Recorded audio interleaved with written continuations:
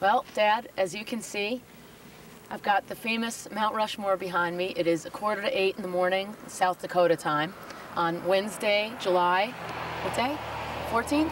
14th. And uh, my crew suggested I do this. It never would have occurred to me, but it's your birthday, and I wanted to wish you a happy birthday. Now, first things first, I, I assume that you got the tape in the machine and pressed play. That's, that's number one, because I know that you have a little trouble with it. Even though it's flashing 12 o'clock, but that's okay.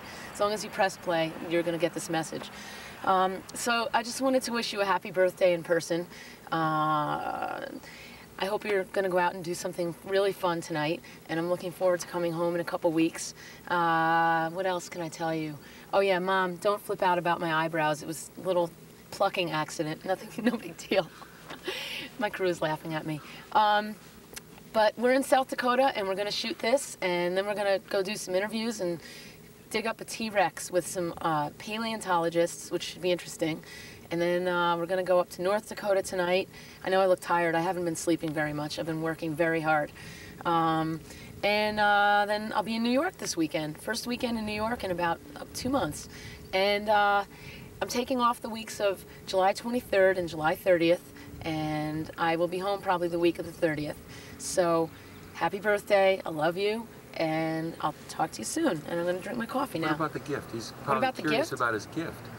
Uh, my crew is asking me about your gift. Um, but the problem is that you've bought out all of Spector's. There's nothing left.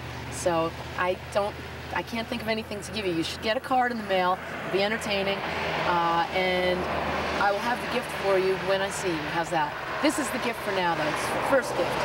I'm going to do a tilt down. Show them the whole outfit, huh? The whole outfit. All the way down, the This Levi's. is my South Dakota outfit. The boots. The boots, you know, Bill O'Reilly warned me not to wear my stiletto heels in South Dakota because they would just sink into the ground on this archaeological dig and it'd be really messy and I'd probably ruin a good pair of shoes that you gave me, Mom.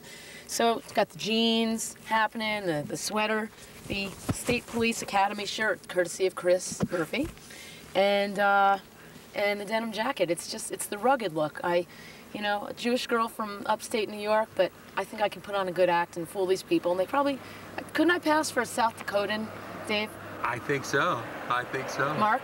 Absolutely. John? Bill? Mike? no, really, there are only, there are only three of us. Bye. I love you. Talk to you soon. Mwah. Bye.